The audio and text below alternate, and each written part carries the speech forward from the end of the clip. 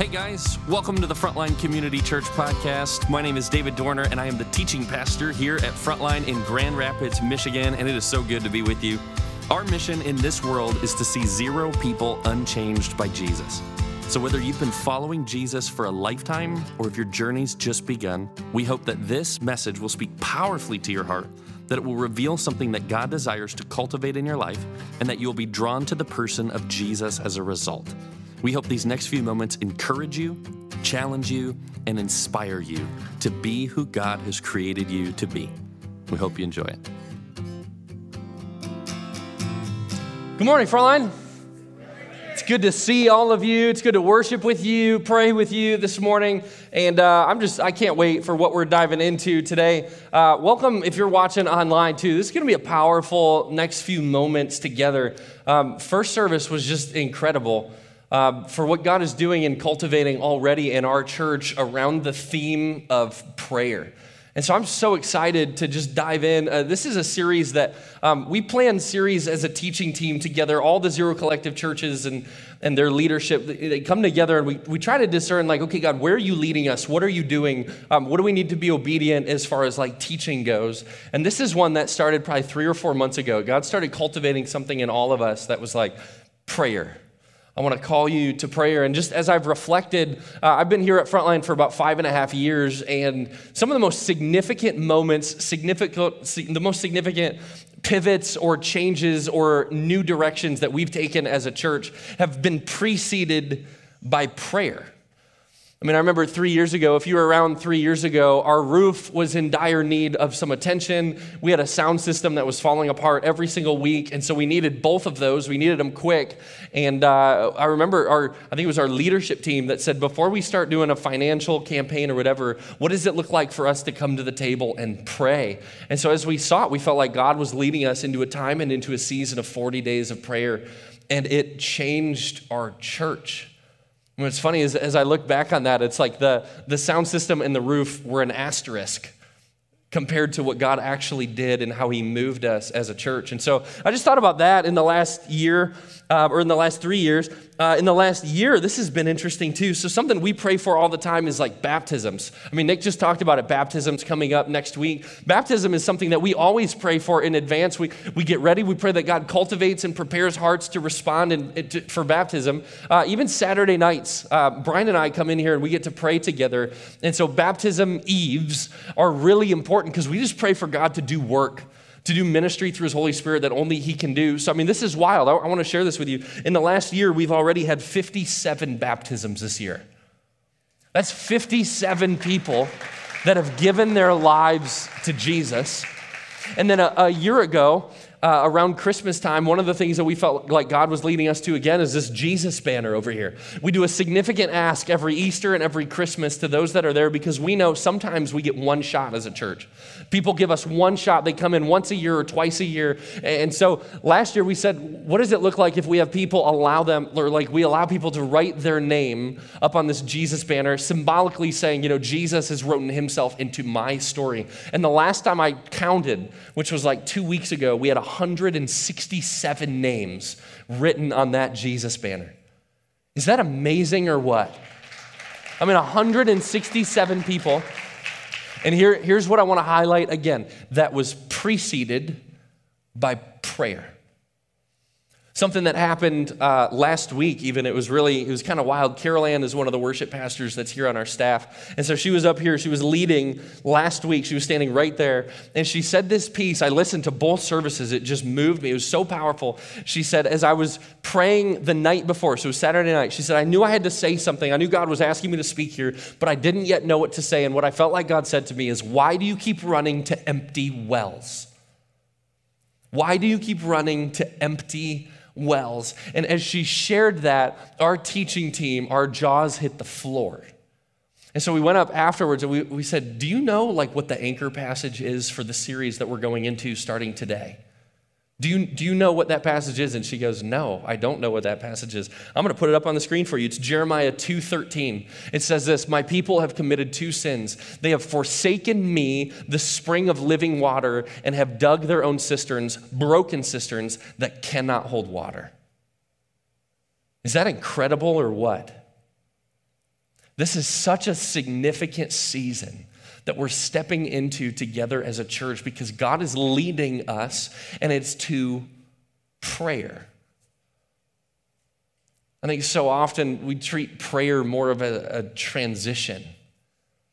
We, we, we, treat prayer as like we, we use it to get something rather than than just spend time in prayer. I want to put this question up as I was thinking. I'm like, what's what's like the normal church question that revolves around prayer? Here, here's the question: What do you need prayer for? How many of you like in your small group or just here at church or like if you're in a class or something like that? If you're in anything that's like a Christian function, isn't it true that this is often the question that gets asked or posed to the group? Right? This isn't surprising. So what do we start thinking of? Oh man, I, I could use prayer for, you know, my car broke down this week or one of my family members is sick. I could use prayer just for our marriage or relationship, whatever it is. We, we often put the emphasis here. We put the emphasis on the word for. And this is why this is so significant. When we put the emphasis on the word for, we are using prayer as a transition to something else. So, prayer, as I come or as I ask or as I seek prayer for something, I'm using prayer as a means to do something that I want to do or to get something that I want to get. But, but this series is not about that. This series is not about how do I use prayer to get what I want from God. This series is not like how do I how do I engage in prayer so that God will move in my life or speak to me or bless me. It's not it's not about what we get. In fact, the emphasis in this question, I think it's still a great question, is this, what do we need prayer for? Because if we're honest, so many, I mean, just in the church culture, we pray for things that often we try to answer ourselves, don't we? It's like if we say, man, I, I just need provision, I need God to provide a car, we're going to go out and we're going to go look for a car. Or if we say, God, I, I, just need God to heal me, it's like we're on WebMD, we're trying to diagnose ourselves and then look for at home remedies. It's like we're trying to answer our own prayers. God, I just, I feel like I need a new job, and so I'm going to go out and look for a new job. It's like things that, that we want or things that we desire, we often pray for, it not from a place of like, I'm just coming to spend time with the Lord in prayer. We, we approach them as like a drive through mentality. Like, I, I want to zip through the drive through, I want to place my prayer order, and I expect it to be ready and handed to me within a couple minutes, and then I'm going to drive away and I'll come back when I'm hungry again. Is that not the West Michigan church culture around prayer as well? I mean, I didn't grow up in West Michigan. You hear me reference that a couple times. Even, even this last uh, Thursday, we just did the Zero Collective worship night. We had all four churches in the Zero Collective here in Grand Rapids come together for the purposes of worship and prayer. And this is what's so funny to me about not growing up here in West Michigan. West Michigan, you can be starving. Or you could be so thirsty, your lips are dry and they're chapped and you got cotton mouth. You can be so thirsty or so hungry, and then you get in a room like this and somebody puts a buffet in front of you and not one person in the room moves. Do you know what I'm talking about? It's like, oh, I don't, I don't want to go first. I don't want to single myself out. I don't want people to know that I'm hungry. I don't want people to know that I'm thirsty. I'm talking like Thanksgiving. Like if we had a Thanksgiving celebration, I'd bet money that all of you would just sit right there and you'd see the whole buffet and nobody would move. But I think that's honestly how a lot of us approach prayer. God says, I have something for you. And I'm here to tell you today, God has something for you today. There's a buffet that he's going to put out, but the ownership is on you to actually come forward and eat of the buffet. That Jeremiah passage, you know, Jeremiah 21 13, God says, you know, my people, this is what my people did. They've committed two sins. They've replaced me as the spring of living water. Check out this spring. This spring, this is an artesian spring in the Middle East. A spring comes from the ground. It's running water, it's living water, it's flowing water, it's been purified, it's clean, it's good, it's refreshing. The spring, what's so amazing is the spring brings water to you. Like you don't have to go out and find water on your own. It's like the spring brings it. It's this never-ending supply. God says, "This is who I am. I'm a spring of living water. You'll, if you drink from me, you'll never run out. You'll never thirst again. I'm a spring of living water. My people have replaced me, the spring of living water, with this with a cistern, with a jar. With a man made solution. What happens when water stops running? The process of deterioration begins immediately. It starts breaking down, it starts acquiring or accruing bacteria, starts getting moldy or algae. And, and what God is saying is, I, it's almost like He doesn't understand. He's like looking at His people, going, When you have access to the spring of living water, why would you ever come here for a drink? But if we're being honest, we do the exact same thing. Spiritually speaking, we run to things that serve us or serve our needs that we think we can do for ourselves rather than going back to the living spring that God has to offer for us. So God says, I, I, hold these two sins against my people, that they've forsaken me as the spring, as the well of living water. And they built their own cisterns that can't even hold water. Here's what he says a couple chapters later. In Jeremiah 7, verse 9, what God says is, Will you steal and murder? commit adultery and perjury? Will you burn incense to Baal and follow other gods that you have not known, and then come and stand before me in this house, which bears my name, and say, We are safe? Safe to do all of these detestable things? Has this house, which bears my name, become a den of robbers to you. But I have been watching, declares the Lord. This is an incriminating passage for us. Here's what God is saying to his people You show up on a Sunday, you act like everything's all put together. You act like you're fine. You act like you're full. You act like you're attached to the spring, but you have built so many cisterns of your own. And they're moldy, full of algae. They're disgusting. They're actually making you sick. And yet you come in to God's place, his house of worship, his house of prayer. As we come in, we pretend like we're not doing any of those things. We pretend like we're not running to those things. We pre- pretend like we're not drinking from them. And God says, What? So, and so you're safe here? You're safe because you fooled everybody else around you? He says, I've been watching you. I've been watching. So here's Jeremiah's response Again, a couple chapters later, Jeremiah 10, Jeremiah says this Lord, I know that people's lives are not their own. Why does he say that? Because we treat our lives like they're ours. We treat them like it's mine, it's my life, it's my decision, my country, my money, my family, my stuff. We, we treat our lives like they are ours. And Jeremiah is saying, no, no, no, God, people do that, but, the, but our lives are yours. It is not for them to direct their steps. Discipline me, Lord.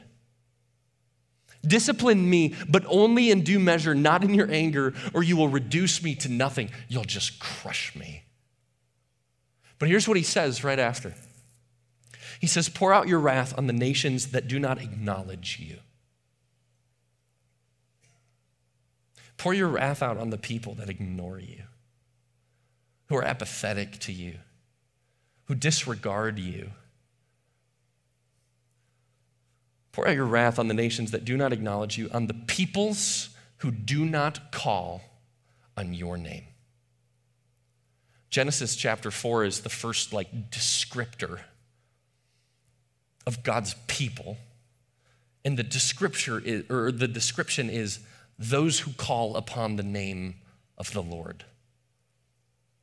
That precedes Israel that precedes Abraham. That precedes, the, the people of God were known by calling upon the Lord. So I, I'm just going to tell you, this is not going to be a comfortable series. Because what, what I really feel and what I really believe today, there's an ask on the table for you. And the ask is going to be that you would respond. Like, I'm going to ask you later in the service to come forward up here. Because so many of us are running to broken cisterns or empty wells or moldy, algae filled, disgusting water that is polluting us on a soul level. And then we walk into here and we act like things are just fine. And God is saying, turn, stop, quit. Like, come before me. I'm the spring. I'm the well of living water. I can quench your thirst. The one that drinks of me will never thirst again. I'm going to invite you to come forward. But, West Michigan, here's what I know. Most of us, what we're going to do, what, because it's safe, so we're going to sit like this. We're not going to move because we don't want to single ourselves out. We don't want people to think that we're thirsty. But there's an invitation today. There's an invitation for this series. We believe God is leading us to prayer. But here's the thing we don't often use prayer as a destination, we use it as a transition. Which means prayer is not just a transition, it's a destination. Prayer is this thing that we run to and then sit. It is not something we run to to get where we want to go. I had so much content for this sermon. I, so, I, I, did not have a content shortage for this one. One, I probably had four sermons in one. I was so excited. And then the longer I sat, my excitement turned into guilt. Because how I've modeled personally most of my prayers before you on this stage have been as a transition, not as a destination. And I want you to know I'm sorry for that. God uses prayer as a transition to move us into deeper relationship with Him. But that happens when it's a destination for us.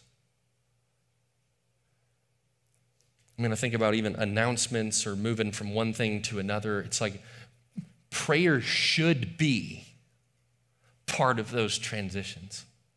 It's submission to the Holy Spirit saying, okay, Lord, lead us as you move us from place to place, thing to thing, song to song, whatever it is, move us. I'm not saying that's bad. What I'm repenting of is for demonstrating that that's mostly only the way to do it. Instead of just modeling, come and sit what we're going to do is pray. And that's our end. God has an invitation for all of us today. Every single one. But most of us don't treat prayer like it's this great invitation. Our prayers are shallow because we've actually elevated things above God. We've elevated country above God. We've elevated safety above God. We've elevated wealth above God. We've elevated image above God. We've elevated independence above God. We have elevated so many things above God. And what prayer does is it rightly orients our hearts and puts God back on the throne above everything. That's why prayer can't be a transition only, because if prayer is only a transition, it leads us to the things that we've elevated above Him. But when it becomes the destination, all other things that we have desired or replaced God with get realigned. And all of a sudden, God is above, He's above all of them, and He rightly shapes all of them. So I, this is embarrassing. I got a couple embarrassing things to tell you today. Uh, about six months ago, uh, I reached out to a man. I just felt like God kept putting this man's name on my heart. I'd only met him once, and he'd prayed over me before, and his prayer changed my life. I mean, it changed my life. The, the way he prayed and what he prayed, he spoke things into my life that nobody could know except God. And I'd known him for 10 minutes before he did. And so I, I hadn't seen him for like six months. And so I start feeling like, God, why do you keep putting him on my heart? Why do you keep putting him on my heart? And so finally, I'm like, you know what? Whatever. I'll just give him a call. So I call him up. His name's Ted. I got his number from somebody else. I didn't even have his number. Got his number, called him up, and he answered the phone. I mean, how many people answer their phone today from a number you don't? I was like, oh no, I was planning on leaving a message. Now I have to talk. I, I don't know. Is this Ted? Yeah, I said, hello, this is Ted. Uh, my name's David. Do you remember me? He's like, you're going to have to be more specific. I said, I was the guy that XYZ. And he goes, oh, yeah, yeah, yeah. I, I remember you. And I said this I'm a pastor in Grand Rapids. Can you teach me how to pray? That's a humbling thing to ask, particularly as a pastor, a non pastor. But I mean, I, he prayed for me. The way he prayed was different than the way I pray. The power I experienced from him is so different than the power that I've drawn. I, I went, Can you teach me? And he, and he says this David, I've been praying for 60 days for the opportunity to teach someone to do just that. And then you called. I said, Well, I'm ready to go. Where do we start? What do we do? It's like I felt like a baby starting all over again. Because most of my life, prayer has been a transition, and that's it. What I was asking him is teach me to make prayer a destination. So many of us in this room, we, we might say this I don't know how to pray. I don't know the right way to pray. Here's what Jesus said to his disciples He said, This then is how you pray. Go ahead and go to that slide. This is Matthew 6. This then is how you should pray Our Father in heaven, hallowed be your name. Your kingdom come your will be done on earth as it is in heaven.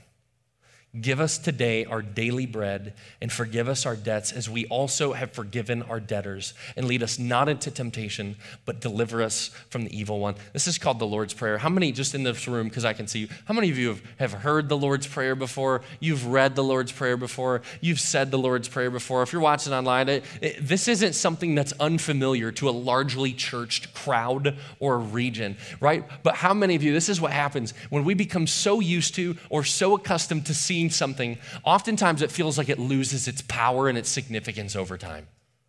You know what I'm talking about? I think some in this room may read that prayer or hear that prayer and they say, David, that doesn't do anything for me. That doesn't mean that the prayer is broken. What that means is we're broken.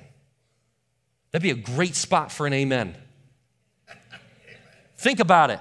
So often we approach Scripture God said, This is alive, this is active, this is sharper than a double edged sword. We approach it. Jesus says, This is how you pray. You want to understand prayer as a destination? You pray like this. This is how you pray. So often we do this, West Michigan. We read that. Yeah, it didn't work.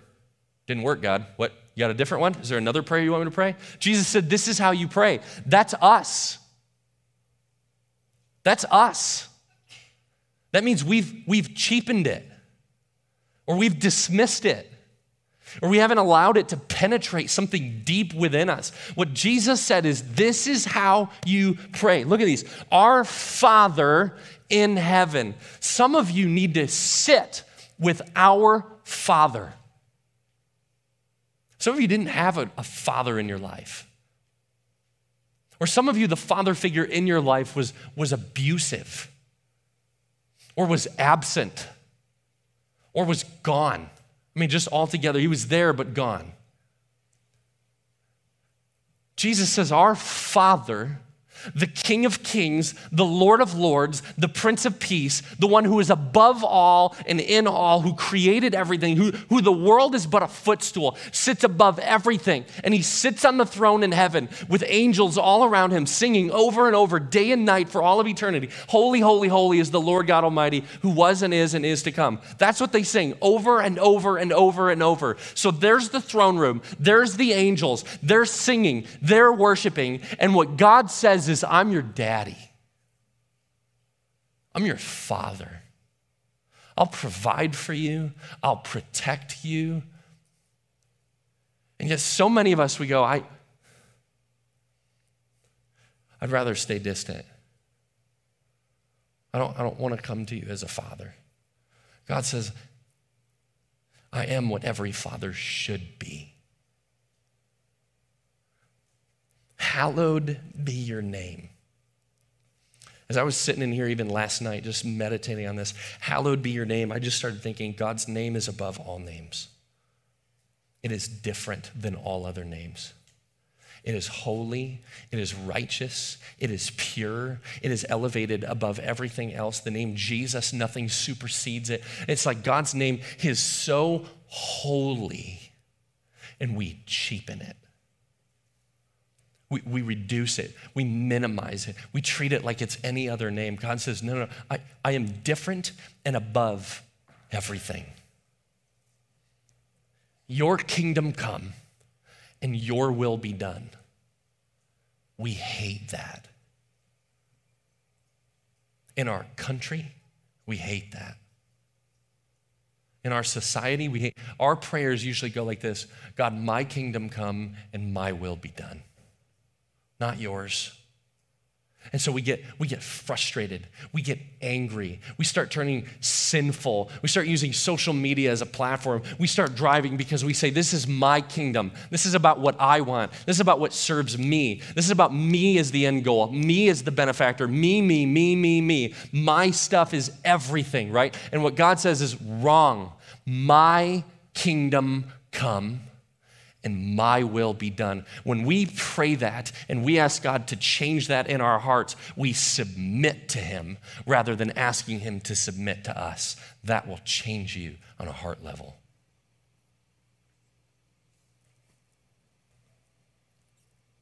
On earth as it is in heaven. Give us today our daily bread. That's God, give me what I need right now but not any more that I might become self reliant. Give me what I need today. Feed me, fuel me, speak to me, allow me to be dependent on you, and give me just enough so that I come tomorrow for the exact same thing. And then on Tuesday, and then on Wednesday, and then on Thursday, and then on Friday and Saturday. And I just do it day in and day out. Feed me God. I just picture my toddler coming up to me, Daddy, I'm hungry. I'm not going to give him a month's worth of food. I'm going to give him what he needs right now. So often we ask for retirement. So often we ask, God, remove the risk. God, give me so much that I, will, I, I won't have any need, and just in case you don't provide, I'll have extra. God says that's a broken cistern it will turn moldy. It'll, it'll be full of algae and bacteria. It'll become unhealthy for you. Come to me daily. And forgive us our debts as we also have forgiven our debtors. When we sang the song Mercy just a few minutes ago, I put myself in the throne room of God. I know my sin, I know my shame, I know my guilt. I know what I carry. I know the burden. And every day I'm alive, it gets heavier and heavier and heavier and heavier. And I know one day I'm going to be in the throne room and it's all going to be right there and God's going to look right at me. And the only word I'm going to say is mercy. Because it's crippling. When we have an understanding of who we are, it also shapes our understanding of who God is. When you realize how broken and sinful and dirty we all are, you realize how pure and holy and amazing He is. And then it becomes difficult because we like to hold things against other people.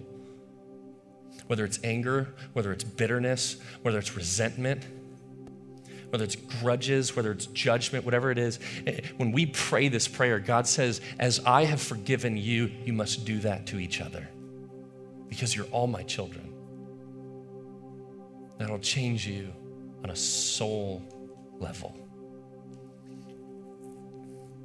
And lead us not into temptation, but deliver us from the evil one. The temptation today, I'm going to tell you, is to walk out of here and say that wasn't real. The temptation today is that God provided maybe for now, but He won't continue to provide for forever. The temptation is I don't want to be dependent on God for everything, so I'm going to go create independence for myself. The temptation is going to be to chase sin, to run after broken cisterns, to run to dry and empty wells, to keep trying to fill ourselves with entertainment or wealth, greed, lust. I mean, you name it. There's so many things that it's like we keep running to that over promise and under deliver. And God says, He says right here, lead us not into temptation, but deliver us from the evil one. God says, if you submit to me, if you pray this, I will lead you not to temptation, not to destruction, not to sickness, but but but but to me. I'll deliver you from the evil one. Because it's about his kingdom. Because it's His power, not our power. His glory. And He says it'll be that way forever. So, right now, I'm done preaching. Sermon's over. I just felt like God said when I was prepping, He was like, after this, you're done. So, I'm done. Happy sermon for you. Uh, my desire, my prayer for you today is that you will walk out and not say, wow, in the sermon when he said blank, that really touched me. Or, man, when we sang that song, that just moved me. I, my hope and my prayer for every single one of you in this room has been, I heard from God today. Some of you haven't heard from God in a long time. Some of you have never heard from God. But the invitation, the buffet has been set for you. And it's to come forward so this this is uncomfortable. This is the part that may get clunky. This is the part we don't know all what it's going to look like or what it's going to what's going to happen. But I'm I'm going to stay up here and I'm going to pray and I'm going to invite you because I've sat in your seats. In fact, one of the most one of the most significant times in our marriage between Shannon and I was when we were sitting in seats just like these at an event where a speaker just like me got up and said, I want to invite you to come forward in prayer. And I felt like God prompted me and said, You need to go up. And so I grabbed Shannon's hand and we walked up and we got on our knees and I was praying. I'm saying, Okay, God, speak, speak. What is it? Why am I here? What is it? And I was spending so much time like, God, what is it? I feel like I'm not hearing anything. I'm not getting anything from you. And it was for Shan. Some of you need to be obedient today for the sake of the person you're sitting next to. To come forward, to just pray, not as a means to get something, but as a destination. Some of you need to spread out. Some of you, we have this prayer room over here on the side. This is going to be up the entire series. Whenever you need to go over there and just get a little bit more privacy, go do it. But I want to invite you right now to the throne of grace. Where you can release things back to God, where you can run to Him as the spring of living water, just like this picture, where you can come up to Him as the spring of living water rather than running to your own broken, dried out, disgusting cisterns. So, right now, um, I'm going to invite you to some of you, if you stand up, move forward, come right before, get on your knees, prostrate, spread to the sides, whatever you need to do, move to the prayer space over here. And, and we're going to spend some time praying together, and the worship team is going to is going to continue to minister to us as well. So let's pray. God, we just come before you right now. And God, we repent for making prayer about us. We repent for making prayer this transition that we come to you and we use you as a means to our own end. God, we repent of that. We lay that down right now before you.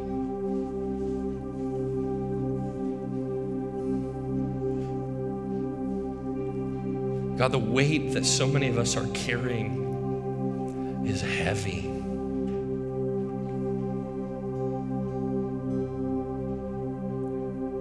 We don't want to use you. We just want to be with you.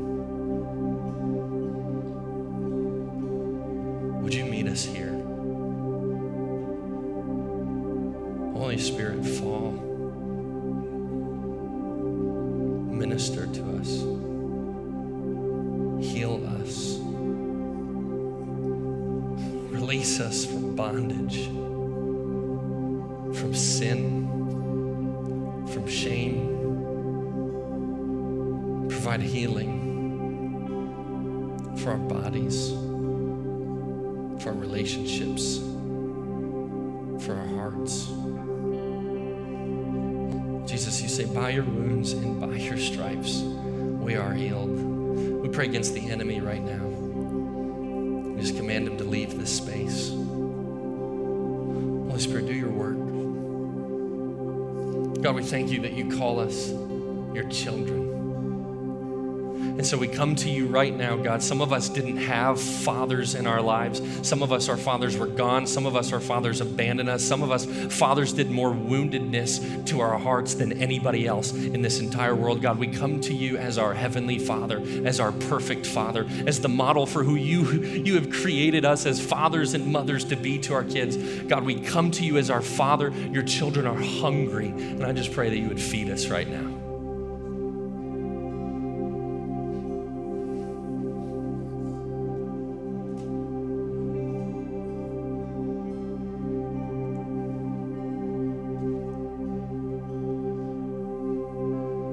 God, holy is your name. We repent right now for the ways that we've cheapened you, for the way that we've made you and following you about us, for the way we've used it to our own gain for the way that we, we, we take things that you do, take things that you've gifted us with, take things that you've blessed us with, and then we use them for ourselves, that we hoard or we keep them close or we lock them down. We get selfish, we get greedy, we make it about us. God, we repent of that right now. Your name is holy. Your name is righteous. Your name is pure. Your name is above all other names, including our own. Jesus, we just lift up our hands to you right now. We just say, Holy is your name. Holy is your name. Holy is your name. We join the angels right now. It's just singing, Holy, holy, holy is the Lord God Almighty who was and is and is to come. Holy God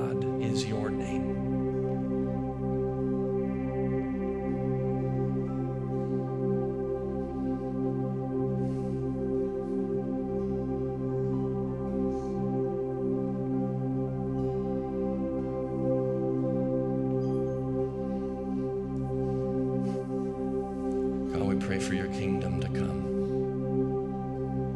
and your will to be done on earth just as it is in heaven. God, we submit our plans to you. We submit our finances to you. We submit our possessions to you, our relationships to you. God, we submit every part of us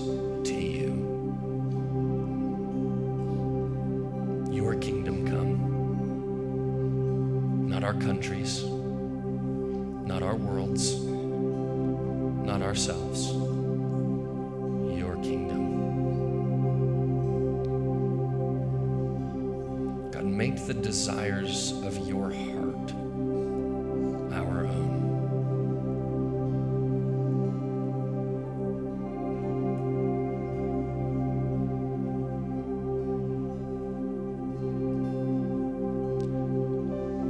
us today our daily bread. Some in this room right now are starving. Some came in with spiritual needs that are so deep and so broken, and they've carried them for so long. God, I pray that you would give us bread and give us manna from heaven right now that would speak to us, that would refresh our souls, that would nourish us and strengthen us. God, I pray that you would just provide right now through the power of your Holy Spirit, that you would just minister to us on such a deep level, that you give us what we need right now, today. Some of us carried in physical needs. Some of us are wondering if we're going to be able to keep our house or keep our job or, or keep our cars or, or, or stay in our apartment, whatever it is. God, we bring those physical needs to you and we ask that you would meet them. You know what we need. We're your children. And so we just lay those down before you. We just ask that you would meet our needs, that you would give us our daily bread.